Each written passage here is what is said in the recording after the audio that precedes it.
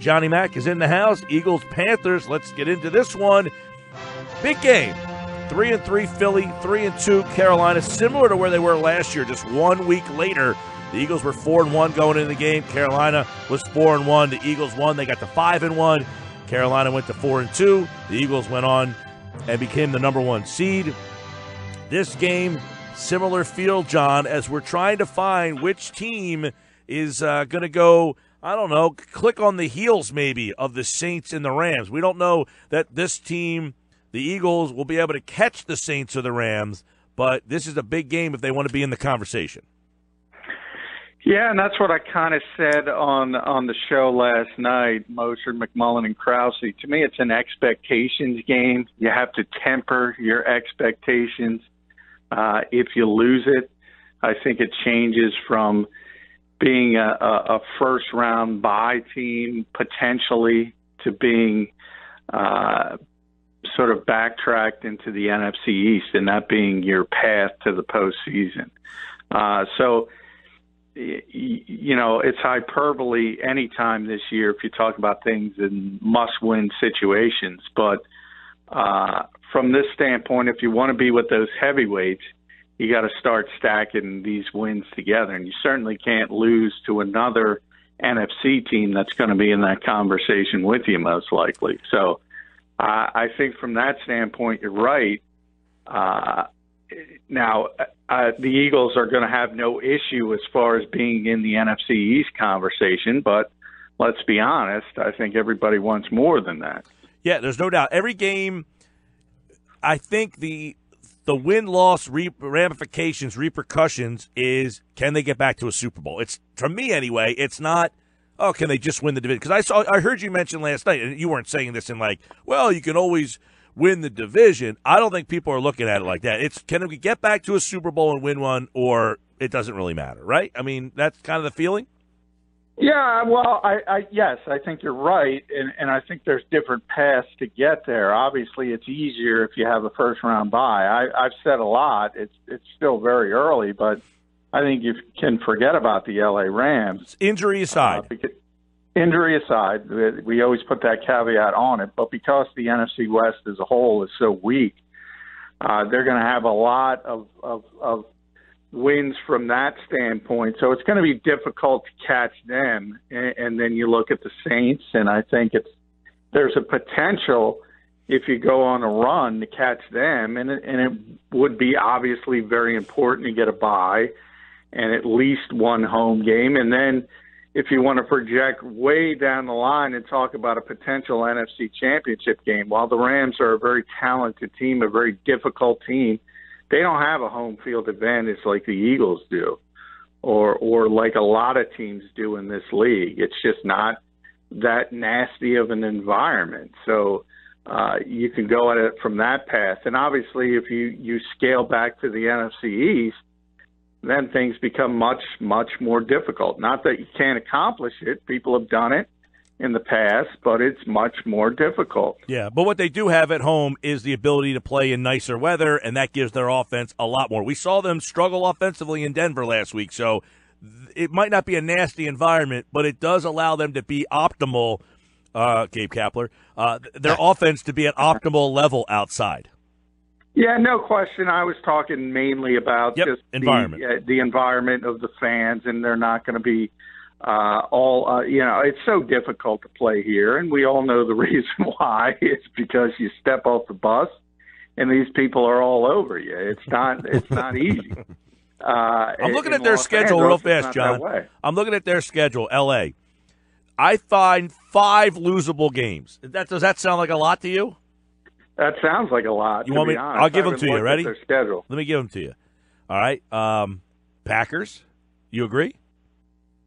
I always agree because of Aaron right, Rodgers. Exactly. I think the Packers stink, but they have Rodgers.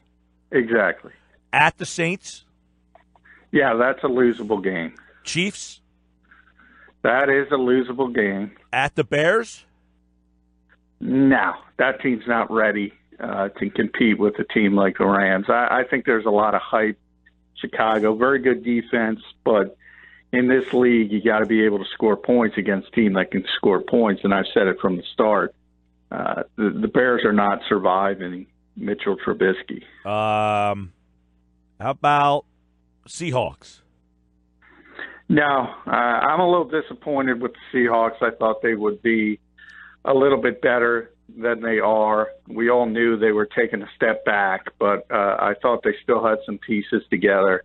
Earl Thomas injury obviously uh, hurts. Russell Wilson uh, is still a high level quarterback, but they they never never address the offensive line.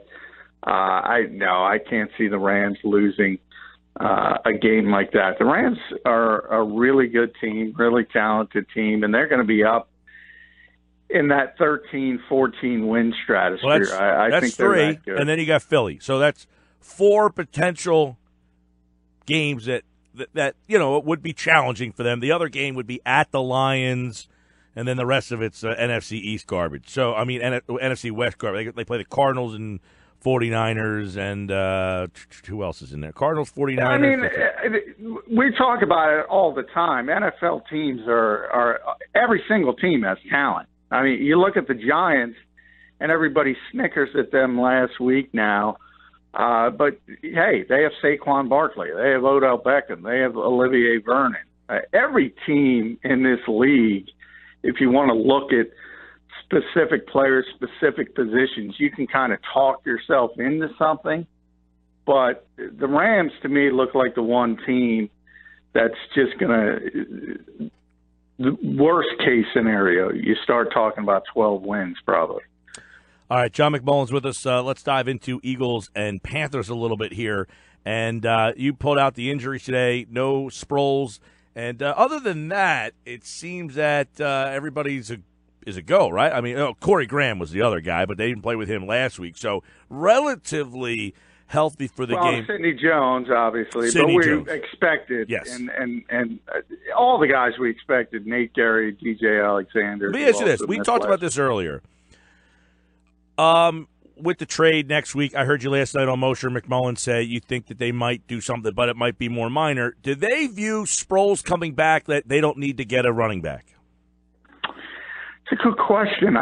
I mean, we're talking week one. We're now going into to week seven, uh, and he's still not playing with a hamstring injury. And Doug said again today, when this week started, he said day to day, and it was uh, whittled down from week to week. And you start thinking, well, maybe he'll be back on the practice field. Maybe he's close, and he didn't practice at all. And now he said today they're hoping he can practice next week. But then again, it's it's it's Jacksonville, it's London, and then the bye week is after. So I, I'm starting to think maybe that's their plan to get him through the bye week, give him an extra week, and hope he's ready for that second half of the season. But these plus thirty something guys, Corey Graham is another one. Haloti Ngata is questionable. You talk about Jason Peters all the time; he'll play, but he's so banged up. Uh, I, I I don't know if you can count on him, but I, I think the Eagles are. Doug, I talked about a lot. Doug loves him as a player. Uh, he always defaults to him when he's available. Uh, so unless they do make a deal, Carlos Hyde just got traded uh, to Jacksonville, so he's off the table. Unless they do make a trade for a running back, he's going to have to be a part of this, no question about it. John, a big matchup on Sunday is Cam Newton versus the Eagles linebackers. Now, Cam Newton in his career, he actually has a passer rating of just under 70. That's the worst passer rating against any team. He he seems to struggle against the Philadelphia Eagles. So, what do you expect from the Eagles linebackers, particularly this Sunday, to try and keep him in front of him and uh, in front of them, and hopefully maybe cause some turnovers? Yeah, I, I, the Eagles have had a lot of success uh, against Cam Newton. Uh, traditionally, uh, has won two games, lost two, but he has he, he personally hasn't played well uh, against the Eagles, and I, just don't think they have the weapons at this stage to to really test you uh, down the field. A lot like the Eagles, they're having a lot of issues at wide receiver. Uh, they don't have explosive guys, so uh, you have to add that into the equation as well. Where they can hurt you is the fact that Jim Schwartz has been talking about it all week is those quarterback uh, design runs. We all know how good Cam is uh, uh, with those. And then Christian McCaffrey, who is just uh, a phenomenal player. Uh, wrote about him today on 973ESPN.com. The Eagles wanted him badly. If they got him, we wouldn't be talking about this running back by committee constantly. He's a guy who can do everything. He's their leading rusher. He's their leading receiver. He's probably their best route runner. He's a running back. Uh, so those are the ways I think the Panthers can hurt you, not necessarily vertically, and right. that probably drives Norv Turner crazy because that's what he wants to do. Yeah, now on the other side of the ball, I think it's another interesting matchup. Carson Wentz against the Panthers linebackers. Luke Kuechly, arguably the best linebacker in the NFL. How much potential trouble could Carson Wentz? Thomas Davis is back, and Thomas Davis is back. I mean, how much trouble could they cause now for the Eagles' offense?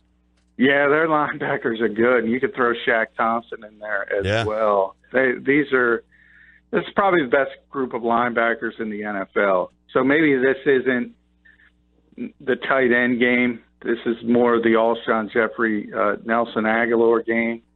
Uh, maybe you got to do some things more outside, and that doesn't look like a strength for the Eagles. It's a lot better now that Alshon is back. Uh, but it's it's one of those where we just talked about when you talk about NFL games, and if you want to look at the negative side, you can talk yourself into things and you start looking at Luke Kuechly and Thomas Davis and Shaq Thompson and saying, "Ooh, that's that's a tough group." Uh, but you think about that game last year was the Barrett Brooks block, uh, and and Kuechly got a concussion and sort of sent the Eagles on their way. Uh, he's he's he's a really good player. He's really tough to deal with. Sure is. Uh, and one thing is, this team they're fourth in the league running the ball, one thirty nine a game. Eagles typically good against the run, but they're a little light at tackle. We know that. Uh, so I'm interested to see. Last year in the game, 11 carries. I think it was 71 yards for Newton. They had four carries for eight yards for McCaffrey. That might change this time around. Yeah, yeah, oh, no, no question. And I think I just said Barrett Brooks, who I love. It's Brandon Brooks, obviously, but uh, you did say Barrett um, Brooks. I'm sure that uh, he would probably be still hurting if he was blocking somebody. um, uh, yeah, I mean, they've kind of figured it out with McCaffrey now. I, I think it's one of those things where, you know, rookie players, no matter who they are, uh, you have some hiccups trying to learn this league, and and now they've kind of got him in all systems go to that offense. As I mentioned, he's their he's their leading rusher. He's their leading receiver uh, from a reception standpoint. Uh, and he's a three down. He never comes off the field, as Doug said. So it, it's rare you see that in today's NFL. Those kind of backs are becoming uh, endangered species, and when when they're out there, it's difficult. You know, I talk about it all the times with the Eagles. You you can say running back by committee, and and but you tend to show tendencies when you do that because each guy has a specific skill set of what you're putting them on the field for. Uh, whereas a guy like McCaffrey he's not going to tip anything because he does everything well. Uh, he's our best offensive player, and I include Cam Newton in that category, and that's a former MVP in this league. So if the Panthers are going to win this game, it's because they're running the football uh, well, and and that includes both of those guys, McCaffrey and Cam from the quarterback position. I want to get your thoughts on Ertz. Uh, the pa- the Panthers are they have great linebackers, but they don't defend the tight end very well. There's a lot of open space on this team, and Ertz has been excellent. You guys were talking about him on Mosher and McMullen Krause show last night about how he just catches eight to ten balls every game. I mean, he's just him and Wentz are just in sync, and this could be another game where he doesn't only get eight to ten, but he gets eight to ten for a lot of yards. And and you know, there's a difference between getting eight to ten for eighty yards and eight to ten for one forty. Yeah, and and part of it is necessity, and we kind of said that. I, I mean, I, I think the Eagles would prefer uh, to mix it up a little bit more to get the guys on the outside more touches. And I, I think it would be more impactful if Zach was at five or six for big gashes. Uh, the reality is they've had to play a lot of of 12 and 13 personnel because of their issues at receiver, and he's out there, so he's getting a lot of volume. I, I talk about volume receivers all the time when when Jordan Matthews was catching 80 balls here. It doesn't necessarily uh, mean you're being that effective. Now, Zach's a much better player than that, and he is very effective, but I, I don't know if you want to keep funneling the ball to the tight end 10 times a game. That's an indication you can't get it to the receivers and you're not as as explosive as you want to be. Yeah, you know, and the one thing is too, the Eagles. um, we know they don't have the deep threat. We'll see if they end up trying. I heard you talking about Gibson last night and uh, the deep threat. You see Torrey Smith. He's on the other side. Hasn't done a whole heck of a lot in terms of uh, numbers, but just having that threat out there. We'll see if the Eagles. I don't know, give someone a shot to do it this week because this is a team that you can get some big plays on. Yeah, I constantly talk about it. It's not even production; it's presence. And and Torrey Smith is the perfect example of that. Not only his season in Philadelphia and his season in Carolina this year, you go back to his time in San Francisco. This guy has not produced as a wide receiver in this league for going on five years now, yet he still keeps getting jobs. And why? Because he does offer that presence. And that's what I think the Eagles are missing. So I don't necessarily need Shelton Gibson. Could be DeAndre Carter. Could be somebody off the street later. Could be a trade. I, I don't necessarily need them to put up big production. I just need them to make the defense aware that they're on the field and and having to to to pay attention to that, which opens opens things underneath for guys like Jeffery and Agholor. John, we've talked a lot about Jason Peters this week for obvious reasons. He's banged up. He's a Hall of Famer, you know, future potential Hall of Famer here. He's going up against Addison on the Panthers. Addison has three and a half sacks through five games. He's coming off an 11 sack season last year. Is that a potential matchup where Peters can really get burned? And are the Eagles going to do anything different on the offensive line with Lane and Jason banged up now going into this game? No, they're just going to cross their fingers, and but they understand right. that. Uh, and and one of the reasons Doug said they didn't even consider uh, sitting Jason Peters with the bye looming after the Jacksonville game. A lot of us thought, well, why don't you let him rest for a couple weeks and then bring him back after the bye? And one of the reasons he said is because Lane's banged up as well. So he might not be able to finish the game, and all of a sudden you need Vaitai to play right tackle. So Big V's got to be ready. I, I mean, last week neither finished the game, and, and it's becoming a trend with Jason Peters. So Vaitai's got to be ready to go. Even Isaac Seumalo could be kicked out again if need be, and that means Wiz would be back in the lineup. Uh, the positive part of this is is depth, and I know Eagles fans will laugh at that and say Vaitai's not this, Vaitai's not that. But again, it's context. Look at the other teams. We're talking about the Panthers. They lost both of their starting projected starting tackles. We had Joe Person on, on the show from the Athletic last night. Their their pass protection has been awful. Uh, and this is a theme around the league. So the Eagles are better off than most teams when they have to go uh, to the reserves. Hey, what's the plan at tackle with Ngata if he can't play? Are you playing uh, tackle? Uh, Treyvon, they got you ready to go? Treyvon Hester.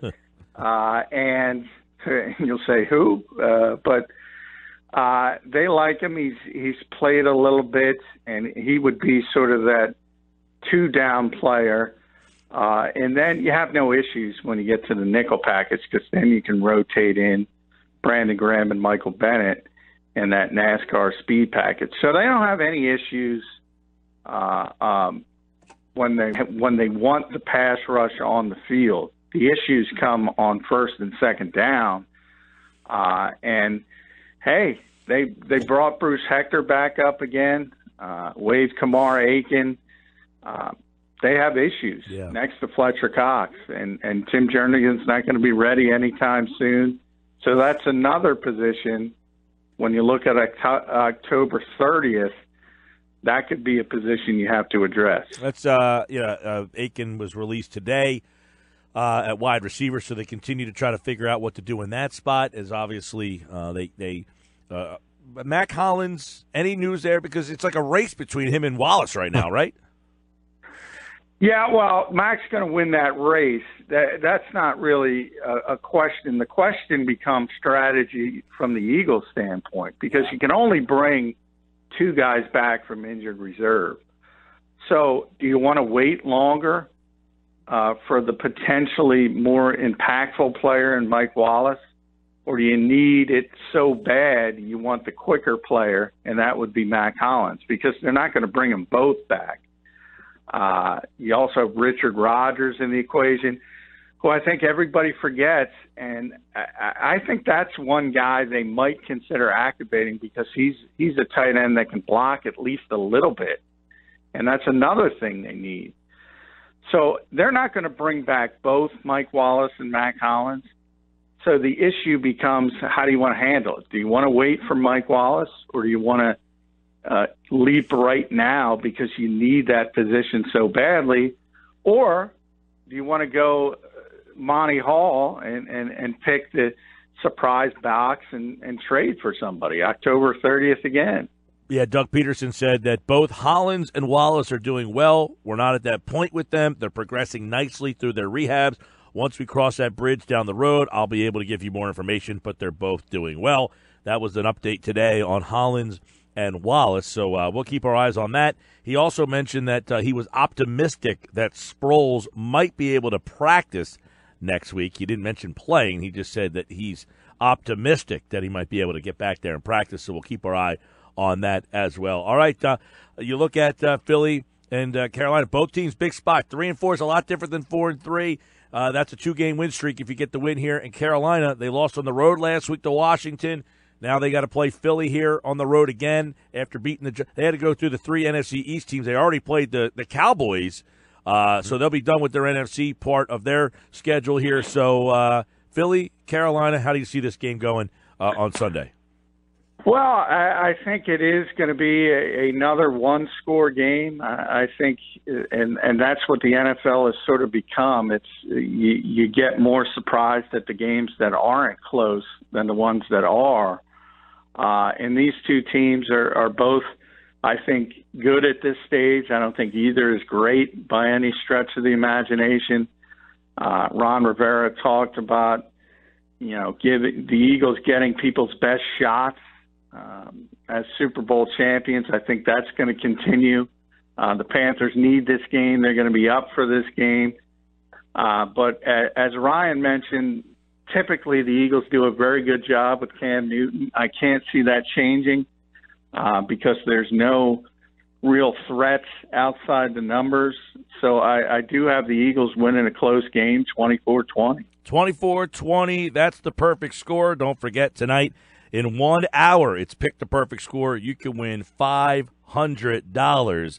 Uh, four hundred dollars. I'm sorry, four hundred dollars. If you know the score of this week's game, John's going twenty-four to twenty. More on this game during the countdown to kickoff Sunday morning at 10 a.m. to get you ready for Eagles and Panthers. John, thanks, pal. Hey, thanks, guys.